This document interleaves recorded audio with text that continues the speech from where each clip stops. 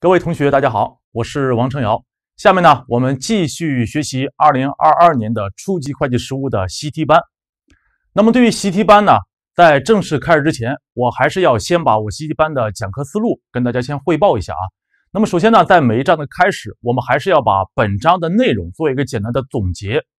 那么，这个总结呢，是帮大家回忆起来我们这一章到底学习了哪些内容，以及这一章的重点、难点以及考试常考点在什么地方。然后第二就是我们后续呢会做相关的一些题目，那针对呢我们常考一些知识点，然后做有针对性的题目。那么最后就是在一些比较重要的知识点上，我认为呢可能大家可能忘记了，然后我还会做相关的一些知识点的总结。那比如说，呃，对于考试常考的，像那个会计信息的这种要求，那这些考试当中经常会出现。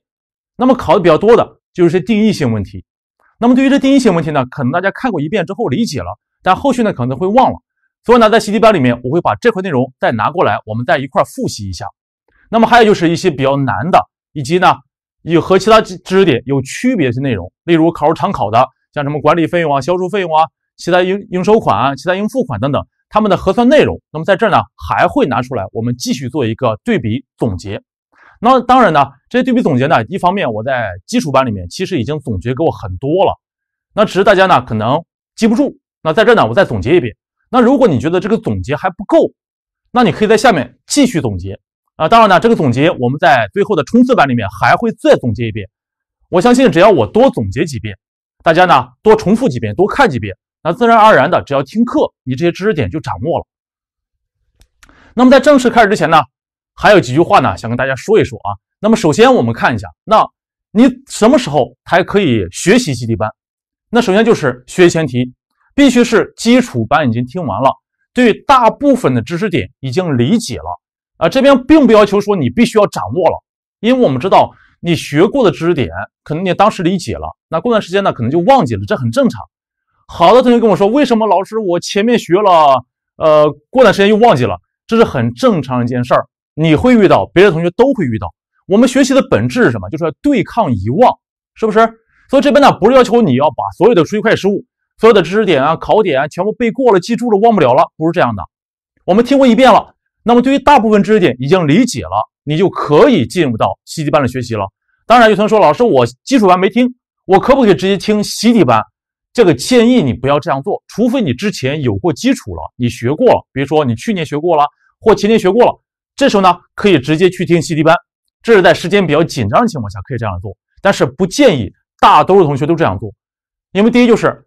我们初级会计实务里面需要理解的东西比较多，那么还有就是因为今年变化的内容比较多，很多涉及到我们中级职称的知识，还有一些呢中级里面没有，啊，注会里面有的，所以这地方呢一定要建议大家，你要先把基础班听完了，大部分都理解了，可能有个别知识点还不是特别理解，或者说还没有掌握，呃，这个时候呢没关系，我们再听习题班，通过习题班的学习，我们再去强化我们基础班的理解和掌握的知识点就可以了，所以这是第一个。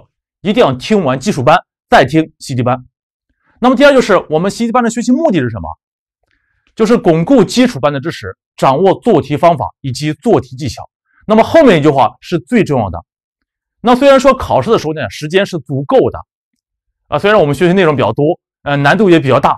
有同学可能会想，哎，考试的时候出这么难的题，那考试时间够不够啊？哎，你注意，考试时间肯定是够的，是足够的，所以你不要担心考试时间会不够。那么主要就是这个题目，如果你会做，你这个知识点掌握了，一定要保证它能做对。而这里面就需要我们一些做题方法以及做题技巧了。所以呢，在整个习题班里面呢，我们会主要讲题目啊，遇到这种题目我们怎么去做。那么对于一些理论性的、概念性的知识点，这个我相信没什么做题方法、做题技巧，你只要掌握这知识点了，然后呢，根据掌握的知识点直接做题就可以了，这个没什么技巧。那比如说我们今年新增了一些什么会计档案的管理要求啊。啊，快电电子会计档案的一些基本要求等等，像这些，哎，我们只需要理解了，呃，掌握了，知道里面的关键点在什么地方了。那做这种题目，只要你不粗心，都会。那么我们重点讲的什么呢？就是涉及到计算的性的问题。比如说考试当中常考一类题目，就是告诉我们某一个账户它的期初余额，还有本期发生额，最后让我们算期末余额。那么就是这种题目怎么去做？那其实呢，在基础班里面我们已经演练过很多次了。一方面就是根据公式来。例如它是资产类的，那算期末余额，它等于期初借方加本期借方发生额减本期贷方发生额，是不是？那这样做是可以的。那么还有一种比较清楚、比较简单的方法，就直接把这个账户的梯形账户呃结构画出来。那最后呢，余额算出来之后，一方面余额金额是多少，我们知道了。那么第二就是它的方向，哎，余额方向我们是不是也知道了？你像这些就属于我们要重点掌握的做题方法，还有做题技巧。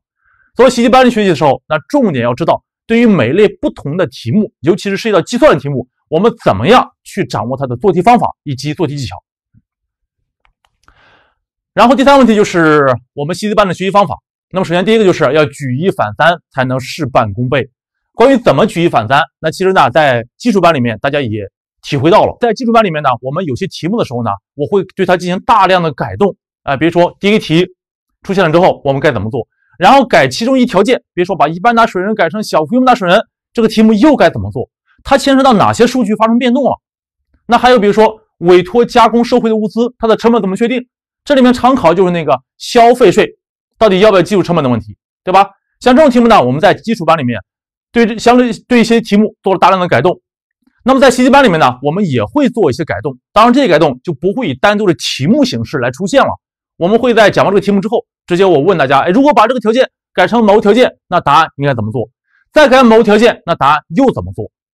那么，所以希望大家呢，在平时做题的时候，一定要有举一反三的这种能力。当然，考试的时候你就不需要了。考试我们只要把答案做对就可以了。但是平时练习的时候一定要这样做。那么这样的话，相当于你做一个题目，就相当于你做了好几个题目。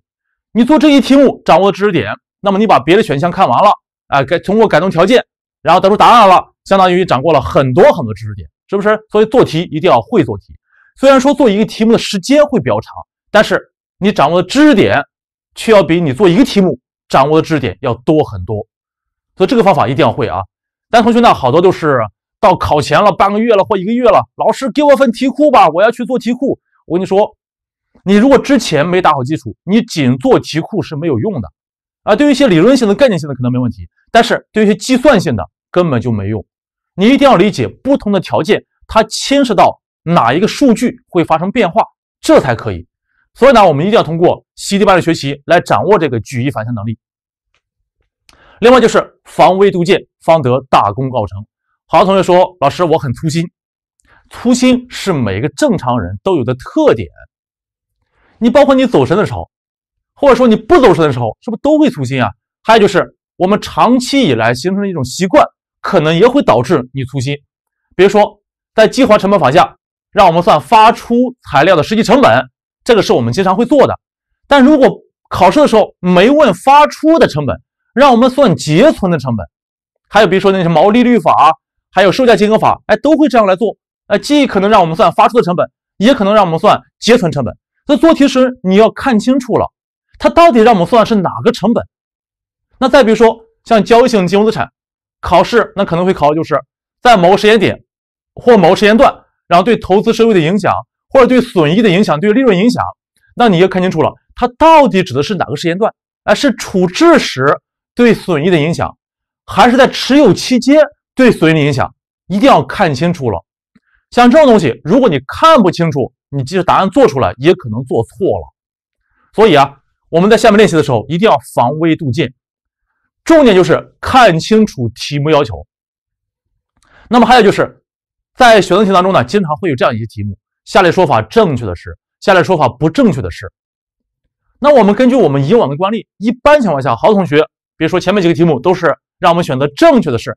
突然来一个啊，表述不正确的，那根据你的这种习惯，你这种惯性，你可能依然会选择那个正确的。所以做题的时候一定要看清楚题目要求。那么在基础班的时候呢，针对这种题目，我也教大家一个方法，就是我们一般的做题步骤是什么呢？是先看题目，然后看选项，最后再做答案，是不是？然后我告诉你，多加了一步，就在看完选项，你确定。A、B、C、D 哪个该选，哪个不该选的时候，或者哪个符合题意，哪个不符合题意的时候，再回到题目里面看一看题干里的要求，到底让人选哪一个，选符合的还是不符合的？然后这个时候你再做答案。那么这样的话就会杜绝你出现这种非常粗心导致的这种低级错误的概率。所以啊，我们在学习习题班的时候，两个方法，一个是做题时要举一反三，你要自己去尝试去改动某些条件，然后再看答案是什么。那么第二是做题时千万不要粗心，不要为了做题而做题，不要为了把这个题目做对而去做题，而是要针对我这个知识点掌握没有去做题。所以我做题的目的是要掌握某个考点或者知识点，而不是仅仅去解决这个题目啊。好了，最后呢，再送大家一句话：我们知道学习和考试是唯一自己能掌控的事情。那么，虽然你在学习过程当中有很多很多的阻碍，有很多很多的人会告诉你，你根本就不适合学会计，你学了也考不过，今年考试这么难，你肯定考不过。那你就放弃了吗？不行，学习不怕千万人阻拦，就怕自己投降。尤其是今年改了这么多，我相信。很多同学肯定是连基础班都没有听完，然后到考试前要想临阵磨枪，然后看一看能不能考过，这个不行。所以你只要自己不投降，自己坚持学习，那最终肯定是可以考过的。好了，下面我们进入到习题班第一章概述的学习。那么先看一下我们这一章到底讲了什么内容。首先，基础概念我们讲了主要四块内容。第一是会计的职能，那么前面会计的定义我就不说了啊。会计职能包括了两类：基本职能还有拓展职能。那么基本职能包括了核算和监督，然后拓展职能呢包括了预测、决策和评价。那么对于基本职能要注意它们的的关系，核算是监督的基础，而监督是核算质量的保证，对吧？然后第二个问题呢就是基本假设，主要有四个：会计主体、持续经营、会计分期，还有货币计量。那么其中呢，考试常考的就是这个会计主体，例如下列可以作为企业会计主体的事包括哪一些？那么要注意，怎么样判断它是不是会计主体，就看它是不是独立核算的啊。比如说选项里面有一个是销售部门，或者是车间，它有没有可能是企业的一个会计主体啊？哎，有可能，只要是独立核算的，那么它就是会计主体。所以如果题干里面问可以作为一个会计主体的事。那么你这些什么车间啊、销售部门啊，你都应该选上。然后第三个就是会计基础，两个，一个是权责发生制，一个是收付实现制。那对于我们企业会计来说，我们用的是权责发生制；而对于政府会计来说，它有两个，一个是预算会计，一个是财务会计。一般情况下，预算会计我们用收付实现制，哎，国务院另有规定要从其规定；而财务会计呢，用的是啊权责发生制。对吧？哎，那么还有就是，那么对于权责发生制和收付实现制下，这个企业的收入和费用到底金额是多少啊？这个呢考的比较少，但是你要会啊。考的比较多就是，那么对于企业会计还有政府会计，他们到底用哪种会计基础来确认和计量？那么最后就是会计信息的质量要求，这个呢是考的最多的一个啊。那么考试的形式主要有两种，一个就是考它的定义。那比如说考谨慎性，什么是谨慎性？还有谨慎性要求什么？哎，不能高估资产和收益，也不能低估负债和费用，啊，这是常考的。还有就是考各个信息质量要求的应用。那么例如谨慎性，哎，哪些体现了谨慎性？啊，比如说我们计提各种谨慎准备，是不是体现了谨慎性啊？还有对保修义务啊，确认依据负债，这也是体现了谨慎性。那么还有考的最简单一点的，就是下列。属于企业会计信息质量要求的是有哪一些？这个很好区分。但今年呢，因为多了一些什么会计职业道德啊，还有内部控制啊，所以导致呢，可能我们会把这些和别的内部控制啊，什么要素啊，呃，给给弄乱了。那这样的话，今天给大家多了一句话，叫 B 李谨记相视重考。那 B 是哪一个信息质量要求啊？叫可比性，对吧？李呢？理呢是可理解性，谨谨慎性，即及时性，相就是相关性，是实质重要形式，重就是重，对吧？重要性，考呢就是可靠性。把这句话记住了，然后再和相关的新质量要求给联系起来就可以了。这个比较好记啊。然后今天呢，我们教材里面多了这样一个内容，这个内容呢是比较重要一个问题。那么这里面呢考点比较多，那第一就是关于会计职业是什么概念，我们就不说了。然后就是会计职业特征，那么这个呢，注意选择题有五个。第一个，职业的社会属性、规范性、经济性、时代性，还有技术性啊。当然怎么记呢？我给大家总结一句话，叫有规范、有技术、能赚钱、与时俱进、为人民服务啊。社会属性就是我们是为社会提供会计服务的，不是这不就是为人民服务吗？然后呢，规范性就是我们要根据会计准则的规定去进行会计处理，对吧？这叫规范性。还有就是有技术，与时俱进，哎，会计准则不断的发生变化，这叫与时俱进。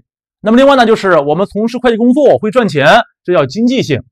所以就是有规范、有技术、能赚钱、与时俱进，还得为人民服务，哎，这个呢比较好记。那么下一个呢，道德与法律的区别，还有它的联系，这地方呢，我们是从不同角度来说的，也注意选择题，联系从内容上还有作用上。啊，什么相互补充、相互渗透等等，还有就是职业道德是法律的重要补充，还有法律是道德的最低要求，这是他们的联系。然后区别呢，是从这样几个方面：性质、作用范围、实验形式、保证机制，还有评价标准这五个来进行反映的。那么这地方，这个是一个重点，一定要注意选择题。你这个不用去背它啊。然后后面呢，我们有相关总结。你看总结明白是什么意思就可以了。然后会计职业道德也是有八个，这八个也是一句话，叫城墙参加爱点课题。那具体我就不再说了啊，我们后面总结的时候再看。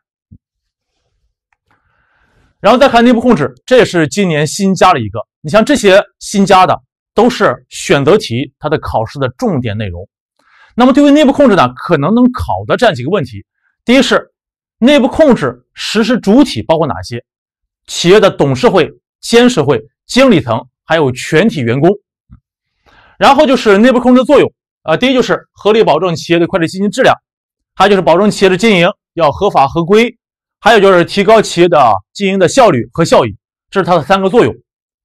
然后还有就是内部控制的目标啊，有五个：第一个，企业经营合法合规，还有资产安全完整，还有信息真实完整，以及提高经营效率、经营效益。最后就是促进企业实现发展战略，对吧？那么这个目标重点注意一下选择题。然后最后就是内部控制要素，这个地方呢也注意选择题，包括了五个：内部环境它是一个基础，然后信息沟通、风险评估、控制活动，还有最后一个内部监督，这些都是选择题的很重要的考点。那么其中呢，作用和目标是非常类似的，因为它既然能起到这样一个作用。所以我们的目标基本上是不是也是这几个？比如说这个合法合规和这个合法合规是不是一样的？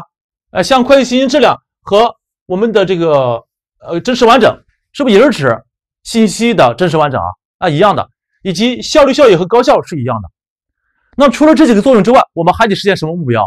就是资产的安全完整，还有就是促进企业实现战略。这是作用和目标。呃，作用里面其实就包含在目标里面了。好了，第二个问题，我们看一下本章的练习以及重点总结。先看第一个知识点：技术理论。下列说法不正确的是：A. 营业外收入属于应计入当期损益的利得。首先，营业外收入呢，它是企业非常活动产生的，它不属于收入。哎，虽然有收入两个字，但是不属于收入。另外呢，营业外收入是要计入到当期利润的。哎，利润不就是损益吗？哎，所以 A 是正确的。B 收入和费用都是企业在日常活动中形成的，会导致所有者权益增加或减少。收入会导致所有者权益增加，因为你取得收入了，如果费用不变，那么利润不就多了吗？啊，利润多了，所有权益就增加了。那费用呢？它会导致啊所有权益减少。然后与所有者投入资本，就是收入是与所有者投入资本无关的。现在我们看定义。应该就非常好理解了吧？所有者投入资本，这个我们在会计上要记住到什么？实收资本或股本。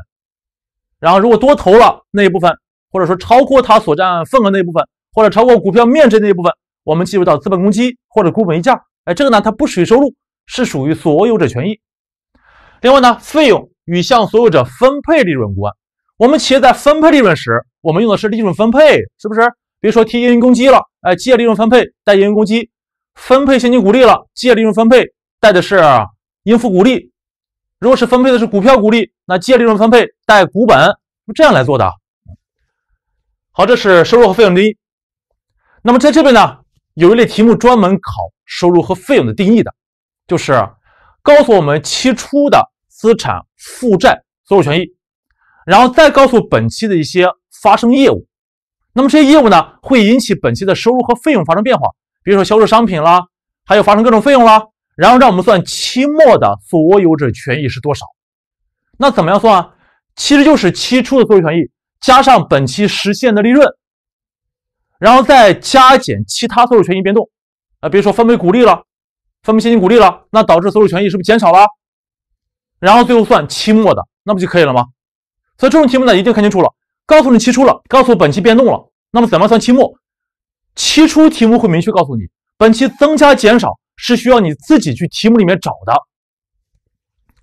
对吧？一般情况下就涉及到收入和费用的问题，那你就找收入增加那些，还有费用减少，费费用增加那些，然后再找有没有什么分配股利啊、提员工期啊，啊，再看一下他们对所有权益到底怎么影响变动的，是增加减少了，最后把增加减少和期初余额哎合计起来。算出期末余额就可以了。好，C 正呃 B B 正确。C 企业购买材料、支付工资、对外捐赠都属于企业的费用。购买原材料，呃，这个是属于企业费用，但是呢，我们买了原材料，我们没有计入到费用，我们是计入到原材料里面去了。对外捐赠，这个属不属于企业日常活动产生的？这个不属于，因为一个企业不可能说我闲着没事儿，每个月都给别人捐赠一下，这不可能。所以对外捐赠呢是属于营业外支出的，营业外支出它是属于企业非日常活动发生的损失，所以它不属于费用。那 C 错了。D 成本是企业为生产产品提供劳务而发生的各种耗费，是对象化的费用。这一方呢涉及到成本和费用的区别。那么对于费用，是我们企业发生的日常活动发生的一些支出，而那些能计入到产品成本，或者说最终由产品来承担的这些费用，我们才叫成本。例如，生产产品过程中发生的什么直接材料啊、直接人工啊，还有制造费用啊，像这些，我们最终计入到产品成本了，是不是？它是由产品来承担的，而这些我们叫对象化的费用。那么，除了这些费用之外，企业还会有一些别的费用啊，例如我管理部门发生的什么工资啊、福利啊、差旅费啊等等这些，它和生产产品没有直接关系。所以，我们不能计入产品成本，我们是把它计入到了管理费用里面去了，是不是叫期间费用？所以 D 呢也正确。那说法不正确的答案是选择 C。好了，下面呢我们再把利得损失的主要内容，我们再做一下提示啊。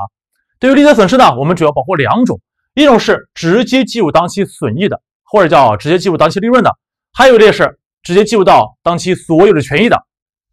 那么形成利得呢？我们主要的是营业收入。注意这边说的是主要啊，不是唯一一个，不是唯一的。因为计入损益的利得损失，除了有营业外收支之外，还有什么呢？还有比如说那个资产处置损益啊、公允价值变动损益啊，这些都属于利得损失。那只不过呢，我们考试考的很少，常考的就是营业外收入和营业外支出。那么利得较营业外收入主要核算内容有哪些？这是考试经常会考入点。像非流动资产毁损报废收益这一方呢，你就不用去死记硬背了，因为我们基础班学完了。那你想一想，我们如果是把固定资产直接报废了，它有一些报废收入，这个呢，我们就叫营业外收入，对吧？那除了这个之外，还有哪一些？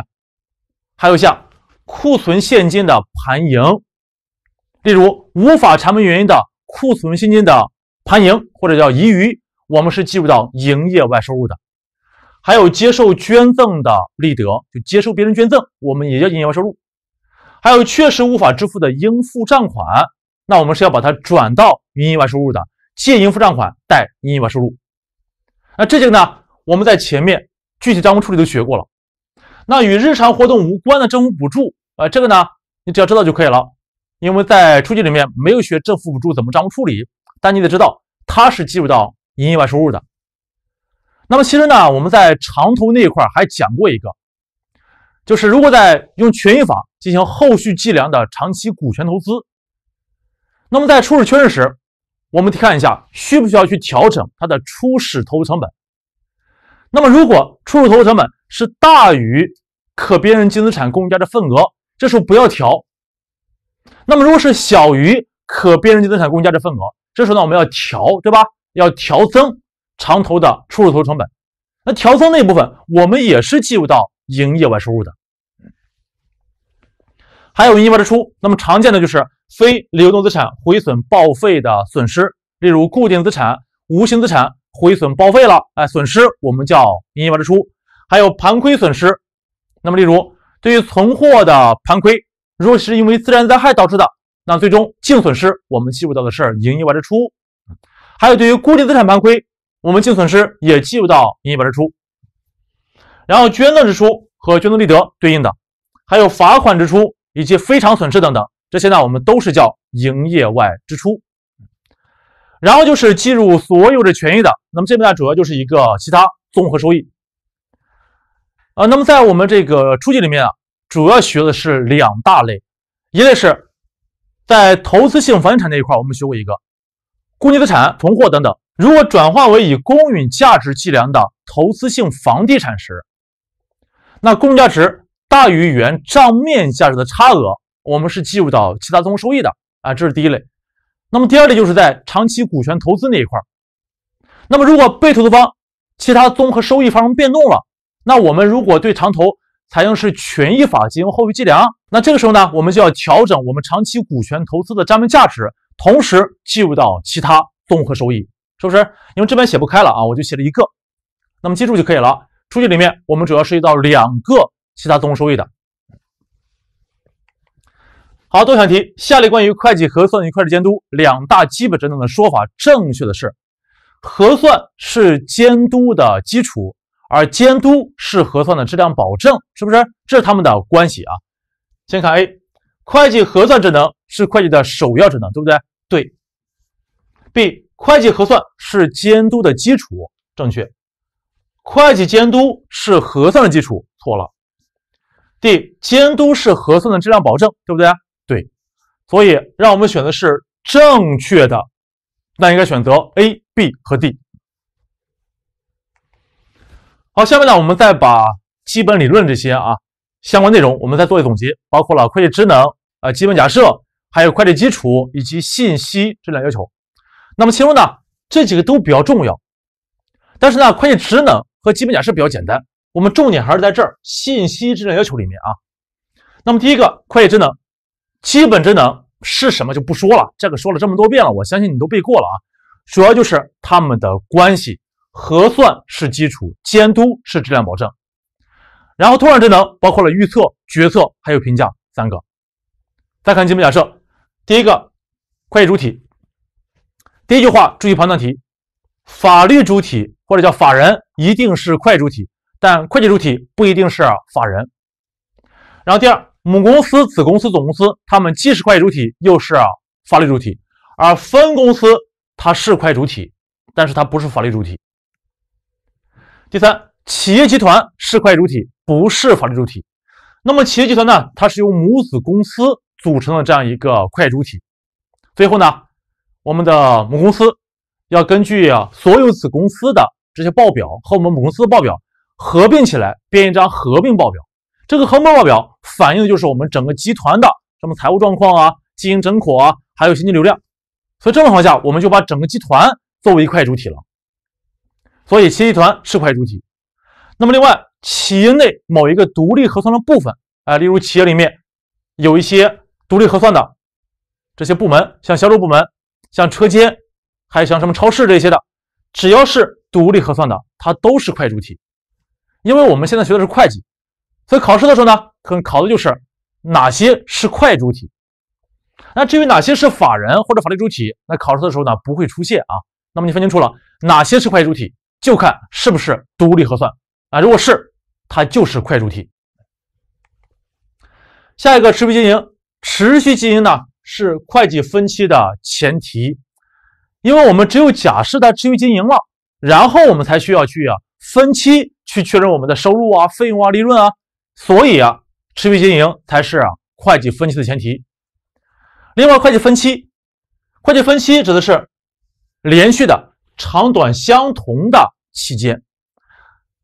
那这地方呢，这个连续的长短相同的可能会考判断题，那么注意一下。另外还有可能会考什么呢？就是我们中国它的会计分期有哪几个期间？那么主要就是包括两大类，一类是会计年度，一类是会计中期，对吧？会计年度就是公历的一月一日到十二月三十一日，这没什么可说的。会计中期呢？中期就是短于一年的，包括了半年度、季度和月度。哎，这些呢我为什么没列呢？因为太简单了，我相信你看完一遍就记住了，所以干脆不列了。最后一个货币计量，货币计量呢这个比较简单，因为会计一里面我们就说了，哎，会计是以货币为主要计量单位。那么另外呢这句话注意判断题，我国的会计核算是以人民币为记账本位币，但是如果你正常情况下你的业务收支是以外币为主，那么你可以选定一种外币作为记账本位币，但是最后编制的财务报告一定要折算成人民币来反映。就是平时记账我可以用外币作为记账本位币来记账，但最后编制的财务报告我要把外币折算成人民币。大家看会计基础。两个，一个是权责发生制，一个是收付时间制。那么这两个呢，主要就是我们企业怎么样去确认收入和费用，或者说是确认收入和费用金额的这样一个基础。那么对于权责发生制，关键点在于权责、权利和责任，或者叫权利和义务嘛。所以呢，我们什么时候确认收入费用呢？就看权责什么时候发生，那就是。以收取款项的权利或者支付款项的义务为标志来确认本期的收入和费用。那么对于企业来说，我们整个初级会计实务里面学的大部分都是企业会计啊，所以对于企业来说，我们都是以权责发生制为基础进行确认计量、记录和报告的。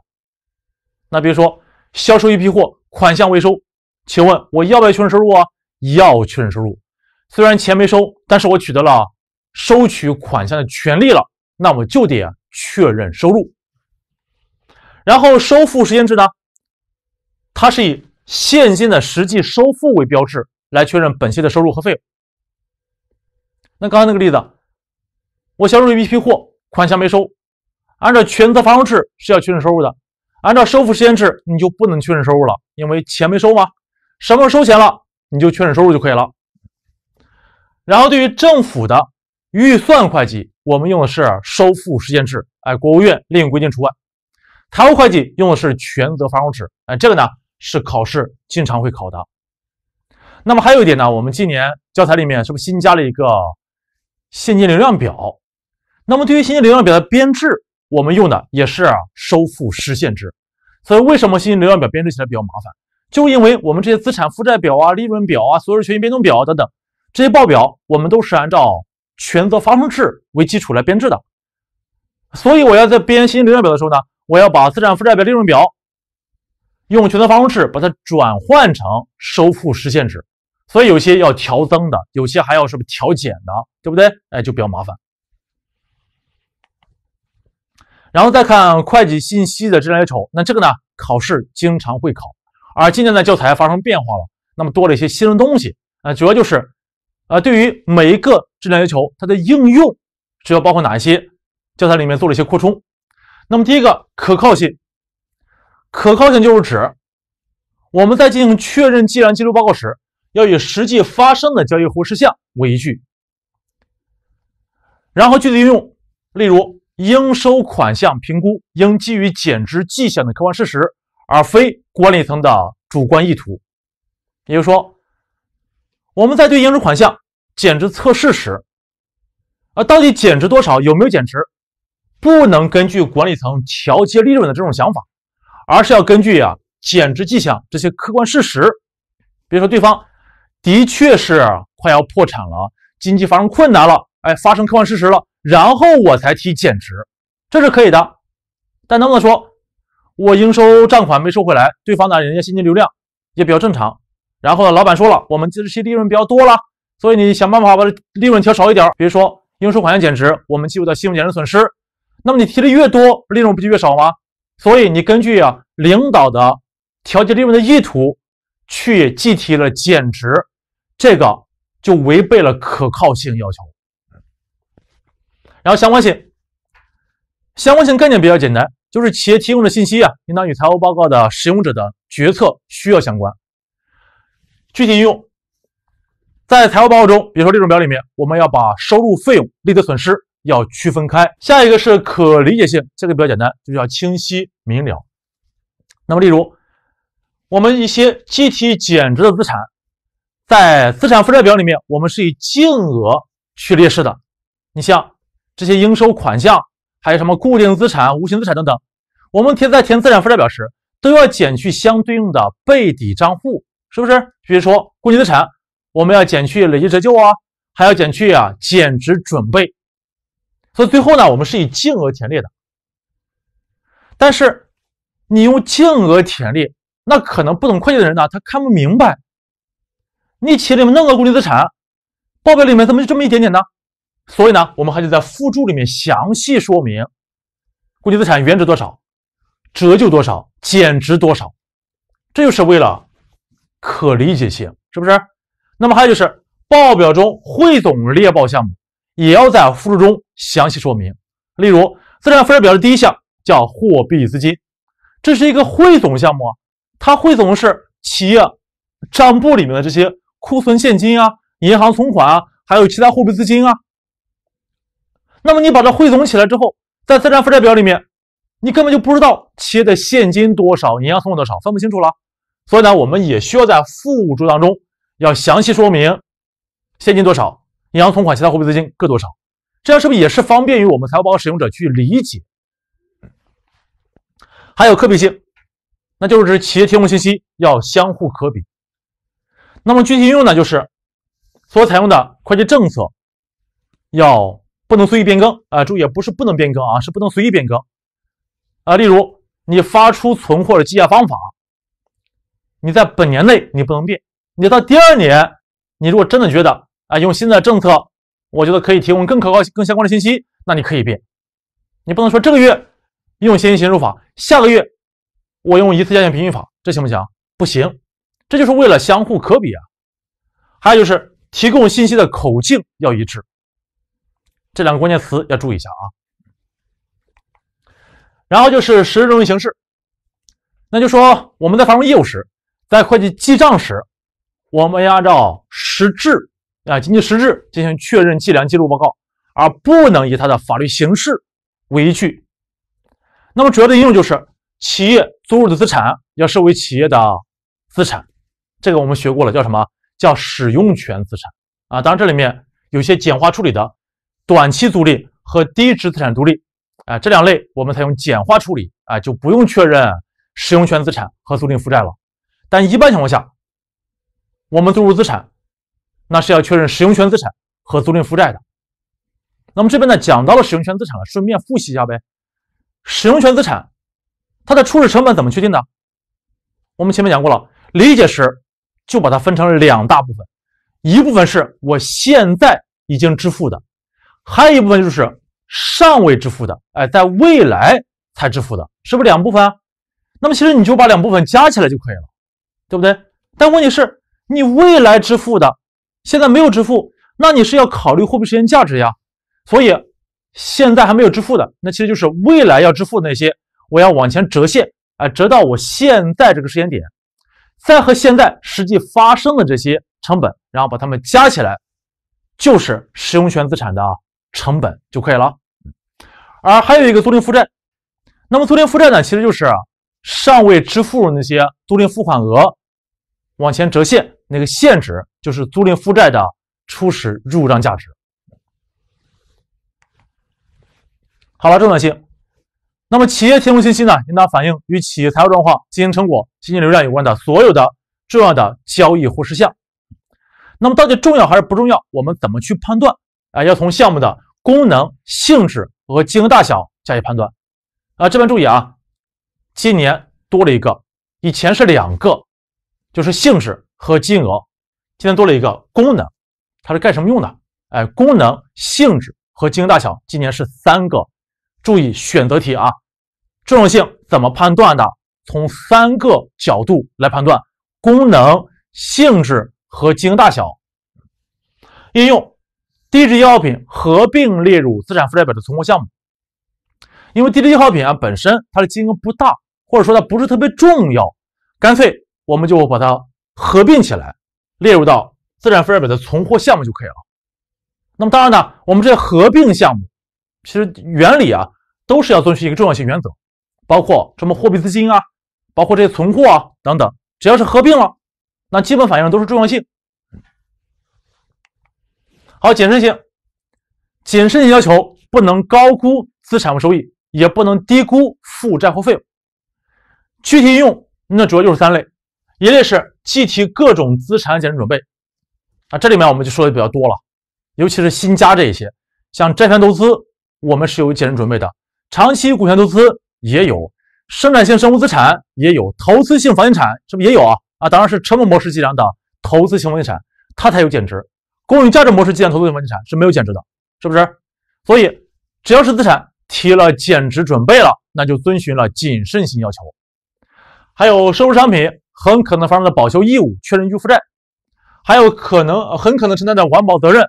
确认依据负债，这些都是反映了谨慎性要求。那么其中呢，这两个很简单，只要确认依据负债了，不管是保修义务也好，还是环保责任也好，那都是反映谨慎性。